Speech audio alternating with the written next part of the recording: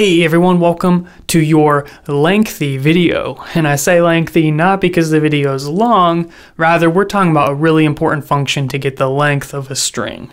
Yeah, I know, my puns are fire. Alright, let's get started. Do you need help advancing your coding skills? Check out my new program, Code Breakthrough.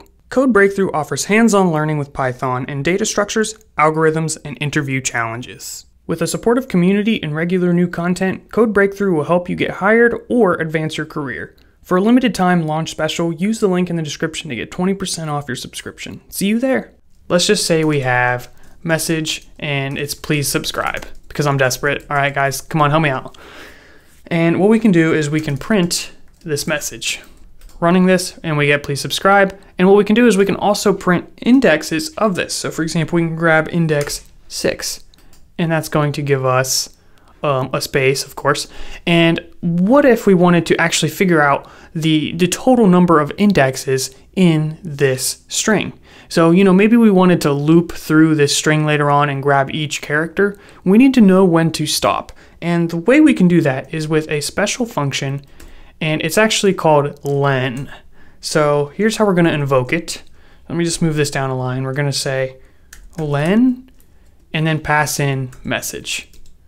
And it returns the number of items in a container.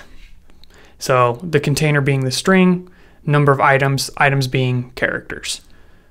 So this is going to return that. So what we need to do is we actually need to take it and put it inside of a print so we can get it out in the terminal, hitting run, and we get 16. So there's 16 characters.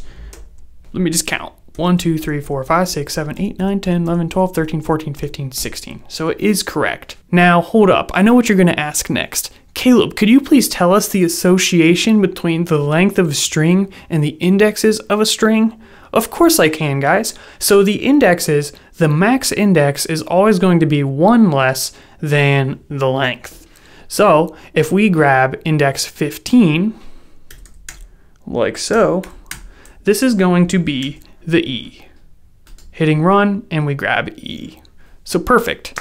That's because the first character starts at zero, so it's shifted over one. A very common mistake for new developers is they assume the indexes go up to the length, except they don't. They go up to the length minus one. If you were to put 16, which is the length, we're going to get an error which says index out of range. Bad boy, don't do that. So you know earlier on we grabbed the last character by saying negative 1.